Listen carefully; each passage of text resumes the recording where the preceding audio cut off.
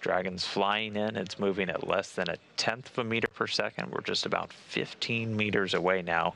Dragon is entering approach 2. המסע הושלם, לפחות החלק הראשון. צוות החללית הגיע לתחנת החלל הבינלאומית. Thanks to SpaceX, phenomenal ride.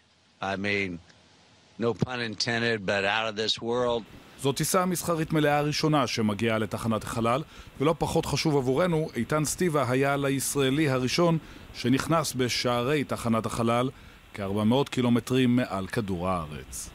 ברוכים הבאים לתחנת החלל הבינלאומית, פעם ראשונה שאפשר לדבר פה בעברית.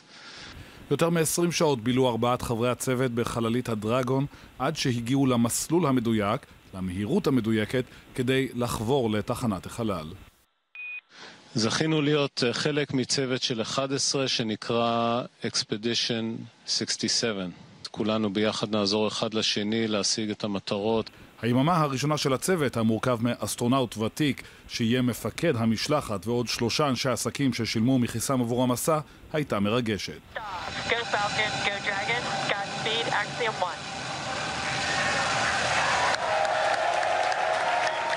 אחרי אין ספור דחיות, השיגור מתחנת החלל בפלורידה היה מושלם. הקהל כאן מריע כולו, והרעש פשוט מחריש אוזניים. ממש התרגשתי, כאילו אמ, שמעתי את הטיל עפה ואפשר לראות את כל האורות. ומשם הכל התנהל כשורה. everything continuing to look good on the second stage. הליך העגינה בתחנת החלל התעכב בכשעה בגלל בעיות בשידור הוידאו, אולם העיכוב לא שיבש את התוכניות. So Eitan Sibi, first one through, followed shortly after by Mark Pathy making his way onto the space station. ועכשיו, לעבודה.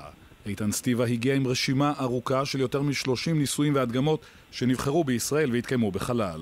אני חושבת שעיקר הרעיון פה זה שהחלל פתאום נגיש יותר.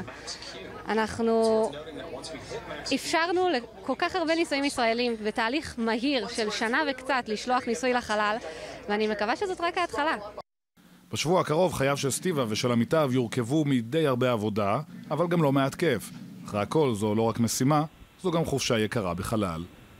נתן גוטמן, וושינגטון.